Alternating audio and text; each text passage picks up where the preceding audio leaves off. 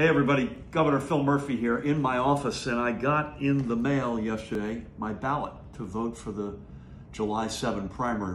Remember, folks, we moved the primary from June 2nd to July 7th. I don't care what party you're in, I don't care who you're voting for, vote, vote, vote. It's the most sacred element of our democracy. So, with that, stay with me here. The camera's going to stay above this, folks. If you're wondering why you can't see who I'm voting for, it's for a reason. So, Okay, let me start here.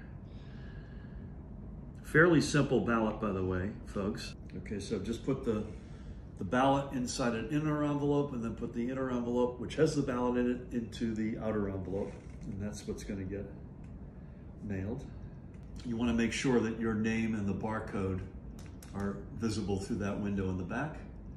No postage is necessary. Just go to the nearest mailbox, drop it in, and you voted. These are valid as long as they're postmarked at latest the day of the election, which is July 7th. So I encourage each and every one of you to vote. Vote to keep things the same, vote to change, vote to do a little of each. I frankly don't care. Just vote. Thanks, everybody.